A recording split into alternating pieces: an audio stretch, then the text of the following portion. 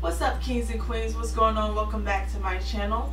If you are new, welcome. So I'm going to be doing another Loc Tip Tuesday video. Today's question is, is it safe to alternate between interlocking and palm rolling? Long answer short, yes it is, but with caution, with care, and a little bit of knowledge. So maybe you are about to start your locks and you're not sure whether you want to interlock or you want to palm roll or you find that you've come up with some issues that one of the methods can solve. What is the difference between the two? For palm rolling, it means that you take your palms and you roll your hair either to the left or to the right and over time that hair that you just roll will mesh together and it'll lock from the outside in. Interlocking means you take your hair and you take the end, you weave it through the base of your lock, which is in between your scalp and right where your new growth ends, in between that little area. And you want to do that in a counterclockwise motion. So from north to south, east to west, south to north, west to east, going around in this motion. And that will lock your hair pretty much immediately from the inside out. So people who interlock, they usually have a very active lifestyle. Their hair is very curly, have a loose curl pattern, and it doesn't lock as fast, or their hair may be um, prone to thinning.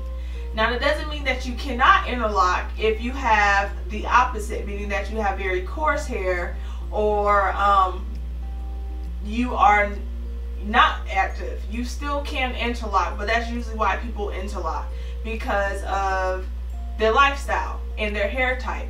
So when it comes to interlocking and palm rolling at the same time, whether you want the pros of each one or you find that uh, maybe over time your hair has gotten really long and your locks are putting on some stress at the roots where your hair is starting to show thinning. For whatever reason, I feel that it is safe to do both. You just want to use in moderation, especially if you're palm rolled and you want to switch over to interlocking. Unless you want to just completely switch over, which I don't feel like. Okay, babe, which I don't feel like that's a problem. So, for me, I am the prime example of interlocking and palm rolling. I, most of the time, palm roll my hair, but I do interlock and I find that I am going to have to interlock in the near future more often or permanently just because I started off with a very small base lock. My hair, although it is very thick, I don't have um, a lot of strains of hair. And so my hair over time is getting to the point to where as it grows, my hair is showing signs of stress and is getting thinner. So to help combat that issue, I do go in and I do interlock it to make sure that I have a strong base. I don't do it so much to where that my hair will show that I palm rolled and then it'll show a thin area where I interlock. Another tip is that if you decide to do that every so often, you want to make sure that you don't do that point the four interlocking uh, all four of them. Maybe I'll do it from north to south and I'll do it from like a east to west or something like that only two times. So that way it's not as tight and it won't show that very very small interlocking that interlock show. Some of the pros of interlocking is you only have to retwist usually every six to eight weeks.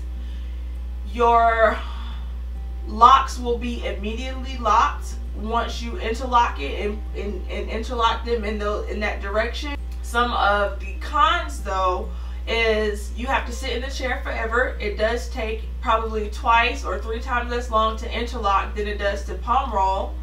Your hair may not portray that shine, that look that it gets with that fresh retwist because it's locking and it doesn't show the retention, the growth retention as fast because you are in a sense putting it in knots.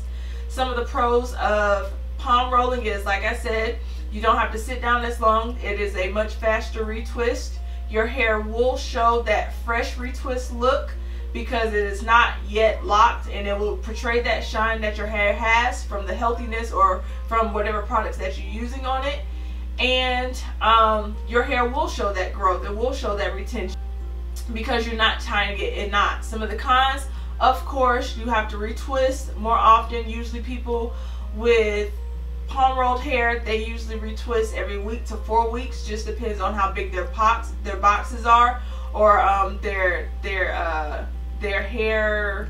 What am I trying to say? Their hair uh, type, like if they have thick or very thin hair. And of course, the retwist does not last long. So if you have not made that decision, there are the pros and the cons between interlocking and the uh, palm rolling. But if you decide that you want to get some of the pros from one of the methods, then I feel that it is safe. You just have to use it in moderation and you have to make that decision based on your hair type and your lifestyle. If this video helped you out, give me a thumbs up. Thank you so much for watching. And until next time, be you, be beautiful, be blessed.